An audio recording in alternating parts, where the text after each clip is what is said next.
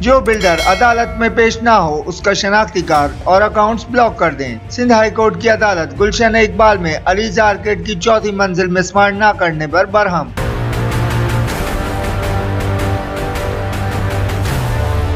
Justice ظفر احمد راجپوت نے remark دیے کہ غیر قانونی تعمیرات نے پورے شہر کو تباہی کے دانے پر لا کھڑا کیا ہے۔ کل کراچی میں چار اشاریہ ایک کا زلزلہ آیا تو کراچی ہل گیا۔ اگر چھ اشاریہ دو کا زلزلہ آ گیا تو تباہی ہوگی۔ عدالت نے علیزہ آرکیڈ کی چوتھی منزل میں کر کے تیرہ جنوری کو رپورٹ پیش کرنے کا حکم دے دیا۔